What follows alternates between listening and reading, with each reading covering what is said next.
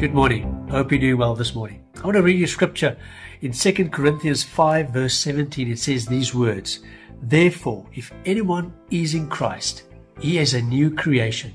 The old has gone, the new has come. Now, I want to tell you a story what I've heard. This person, uh, he was speaking on, on these men's camps and uh, he was talking about himself, about his past, and it, and how he cheated on his wife, and where he did it, and, and he gave a lot of, too, kind of too much info.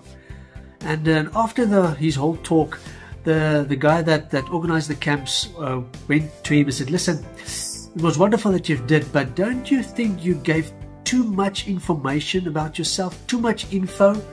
Um, don't you think that people will think bad of you because of the things you've did? He said, listen, no, stop, stop, stop. The person that I talked about, that person is dead a long time ago. He is dead, he is buried, he is gone. Because a person who is in Christ now, I'm a new creation. The person that's saying this, I'm a new creation. That person that I've talked about, he is gone. I'm standing in front of you as a new creation.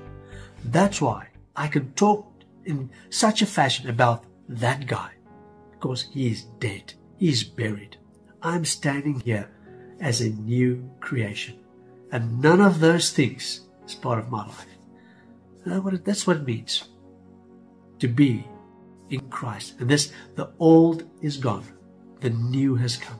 I'm a new creation. When we say we are in Christ, we know that the old life is gone. It's dead. It's buried. It's not alive anymore.